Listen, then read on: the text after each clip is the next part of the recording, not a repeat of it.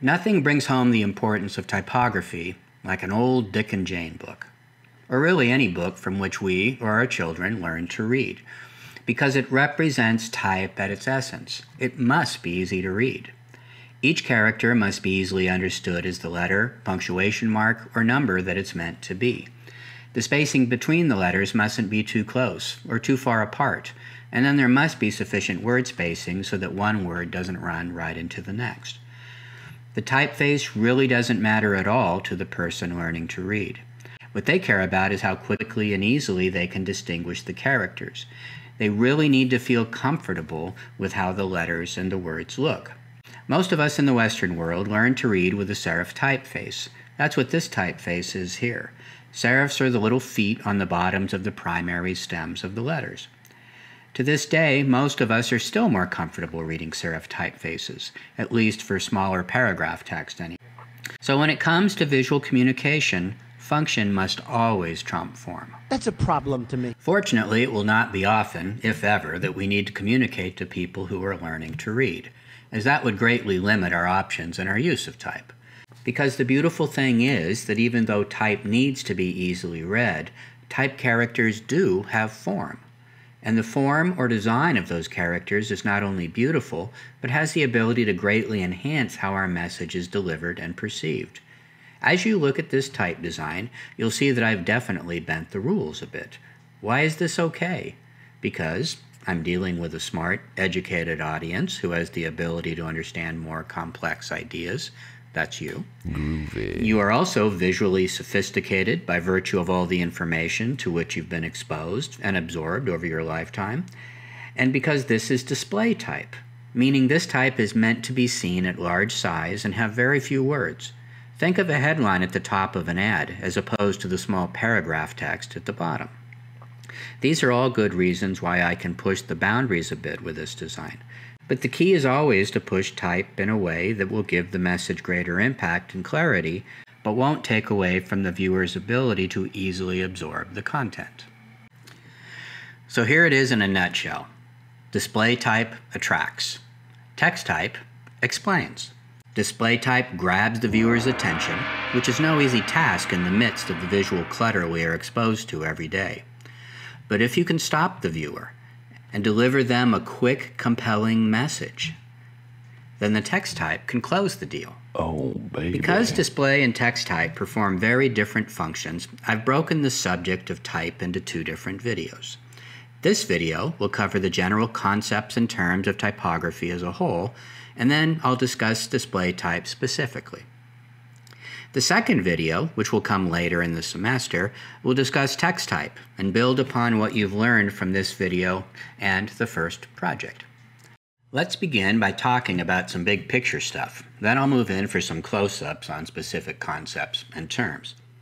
Type classifications allow us to categorize, subcategorize, and sub-subcategorize typefaces. This is very important in these digital times as there are hundreds of thousands of fonts from which to choose. Classifications allow us to more easily hone in on the best type choice for a particular project, without spending days scrolling through every imaginable possibility. Shown here are four primary classifications of type. I won't discuss the subclassifications, as that's getting a little too detailed for this beginning lecture. But know this some of you will discover you really love type, and you'll learn these subcategories, and more. That is a slippery slope, my friend as subclassifications are the gateway to type nerdism. Beware. Let's start with the oldest classification, serif. Now, these three typefaces, Georgia, Didot, and Rockwell, I think you'll agree, are very different from each other, but they do have one thing in common the little feet at the end of the strokes and stems of each character. These little feet are serifs. Which leads us to sans serif. The key here is understanding what sans means. Any guesses? Here's a clue. It's French. no help? Okay, here's some context. Serif typefaces were around a long time before sans serif came along, which was round about the Industrial Revolution, when everything became mechanized, motorized, and assembly lined. The world changed forever. Traditions were lost, and so were livelihoods. In the midst of this upheaval, many people didn't like this new sans serif type. Like machines, it was cold and lacking in humanity. Type had lost something. Well, that was a really good hint. Okay, so tell me, what does sans mean? Duh. Oh, good grief. Without people, sans means without. Sans serif is type without serifs. Whatever. Now, script typefaces have become a gigantic category of fonts, which is funny because not too terribly long ago, script fonts was the smallest category of them all, one which contained almost nothing but formal calligraphy typefaces. But today, a script font can be anything which is based on hand drawn characters.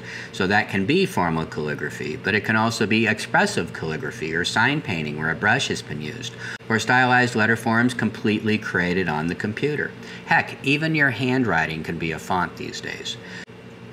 Finally, we get to decorative which is another huge category as it encompasses everything which doesn't easily fit into one of the traditional classifications. This category has some really fun choices, but it comes with a caveat. Less is more, which is something we'll talk more about later in the video and then throughout the semester. Now, typeface families come into play more if you're working with lots of copy. For instance, a brochure or editorial layout where you have headlines, subheads, body copy, captions, pull quotes, page numbers, etc which is why we'll talk about this subject in greater detail in type video number two, which discusses text type. But that said, I want you to know a bit about type families now. A type family is a collection of fonts which are based on the same typeface design, but have different weights, widths, and slants. So what does that mean? I don't know. Well, if you look at these showings of the fonts I've used in this video, you can probably start to figure it out. Weight means the thickness of the strokes in a character. For instance, Museo Sans 100 has a very thin stroke weight, but if you look down at Museo Sans 900, obviously that's a very heavy or thick weight. Now, width has to do with how wide the characters are. For instance, the characters in Museo Sans are wider than they are in Museo Sans Condensed. And typefaces can be ultra condensed or extra wide and everything in between. Slant is all about the angle of italic. So if you look at the small Georgia family, you'll note that each weight has a regular and an italic version. Okay, so here's another example, but this is a little bit different.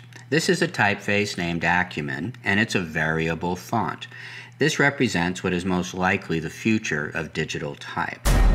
So Acumin is amazing because it is a family, but you have the ability to control exactly who the members are of that family and then change them at will. How nice would that be? Woo! And here's the best part you can try it yourself. So go into Illustrator, go into InDesign, pull up one of these variable fonts, and give it a crack. You know, make the typeface weight heavier, make the characters wider, and make the slant be whatever you want it to be. This is cool stuff. Woof. You may be saying to yourself, why? Why did I take this class? Well, that's simple. You have to. Another reason you might be saying it is that it's written on the screen here. Why is it written on the screen? Well, that's a darn fine question. It's there so I can share with you some type components and terms that will help you work with and communicate about type. The first term is baseline, which is the optical line upon which all the characters in a typeface sit. The key word here is optical. Obviously, the line is not really there. You'll note that certain characters look like they're sitting on this baseline, but actually descend just a little bit below it. Certain characters, which are round or have diagonal strokes, if sitting right on the baseline, will look like they're floating a little bit higher than the flat bottomed letters. It's a bit of an optical illusion for which type designers need to adjust. Next up is cap height, which, wait for it, is the height of a capital letter. No this way. height is really important relative to the next term. X height is the height of a lowercase x in a type design. The relative difference between the cap height and the X height can make a tremendous impact on the look and readability of a typeface. A higher X height generally looks more contemporary and enhances readability. The last two terms also relate to the design and readability of a typeface. A descender is the part of a character that descends below the baseline, and the ascender is the part of a lowercase character that ascends above the X height line. The length of ascenders and descenders can vary greatly from typeface to typeface. In fact, notice how different the relationships are between the two typefaces I've used in this video. The more you work with type, the better you will understand relationships. Relationships like one aspect of a character to another part. For instance, cap height to x height. And the relationship of one character to another, like a capital W and a lowercase o. You'll even start to have opinions on the best distance to have between lines of text. When it comes to using type well, there is nothing more important than relationships like these. Yes, dear. Now, some of these will be taken care of by the type designer, but many relationships you get to take charge of, and this falls under the heading of spacing. Letter spacing, word spacing, and line spacing. Let's start with word spacing.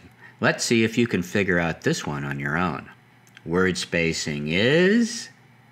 Correct, the space between words. Well done. This is not something you will need to adjust very often, as this falls under the type designer's purview, but occasionally you will. Next up is letter spacing. Ah, but this is not as simple as word spacing, because there are two kinds of letter spacing. Oh. The first we'll talk about is tracking. Tracking is the overall letter spacing in a block of type. This can be a word, line, paragraph, column, or entire page of text. Normal tracking is what the type designer defines as the best overall spacing for their typeface. If you don't change the track setting for a block of type, you will get normal tracking. But you can control this if you don't like how the type designer spaced the font, if you have a specific aesthetic that you're going for, or most importantly, if you need to help the readability in a certain use or circumstance.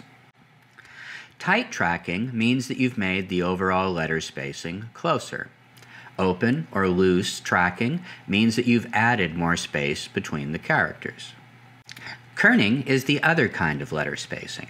Kerning is the space between two specific characters. For instance, a capital K and a lowercase e. The type designer defines a relationship between every character in a typeface and every other character. The average typeface has about 250 characters, so there are thousands and thousands of spacing relationships that the type designer has defined within a particular font. But you may still need to adjust the kerning between two characters once in a while. Why? Because many typefaces are designed to be used as text type and not at large display sizes. Spacing in text type, by necessity, needs to be more open for readability. So when you enlarge a text font to use as a headline, often the spacing isn't right. This is when you'll need to tighten the tracking a bit and adjust the kerning between certain characters. Fortunately, adjusting kerning is very easy to do in Adobe Illustrator and InDesign. Finally, let's talk about line spacing, or leading. Line spacing is the term most often used today, but the traditional and, in my opinion, correct term Right! is leading. So why is it called leading? You have 10 seconds to give me your answer.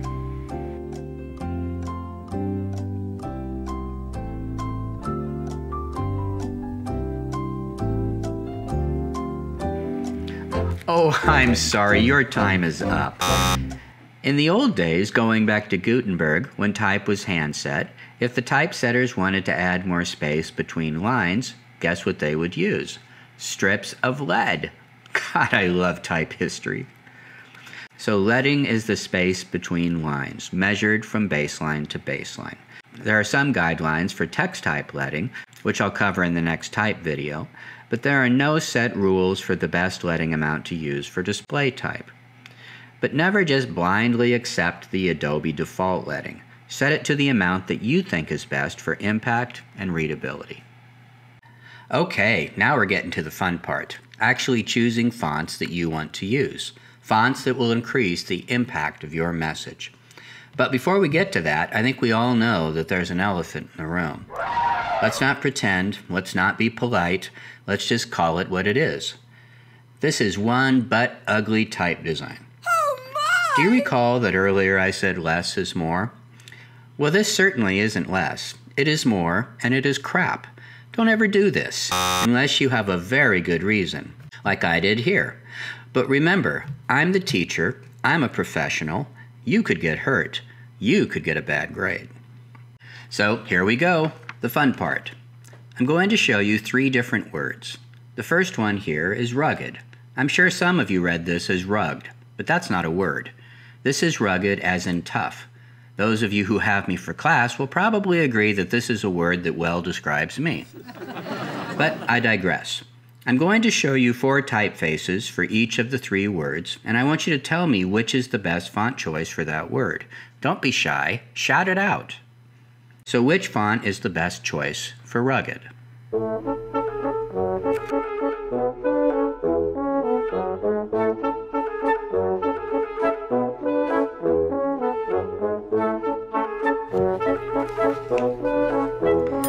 Excellent. Ding, ding, ding, correct.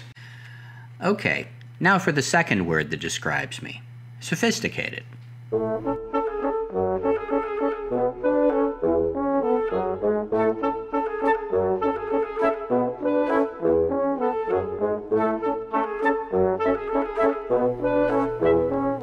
Correct again. You are on a roll, my friend.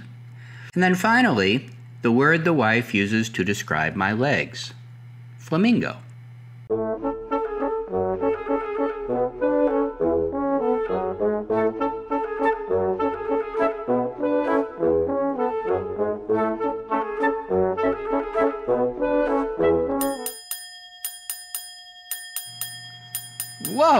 What's up with that? Why did we have such universal agreement on the first two words, and then flamingo disintegrates into chaos? You probably know why that is. The first two words have a very universal meaning. We all have a very similar idea of what rugged and sophisticated should look like. But flamingo? Flamingo needs context. Is it a $25 drink in a fancy Manhattan piano bar? Is it a sign at the San Diego Zoo? Is it a Cuban restaurant in Miami or a new line of pink kid shoes sold at Target? This is what you'll bring to the party your point of view, your visual sensibilities, and your knowledge of who the audience is, the demographic, the marketplace, and your understanding of what will grab their attention, then pull them into your message. Good type selection is critical to your success as a visual communicator.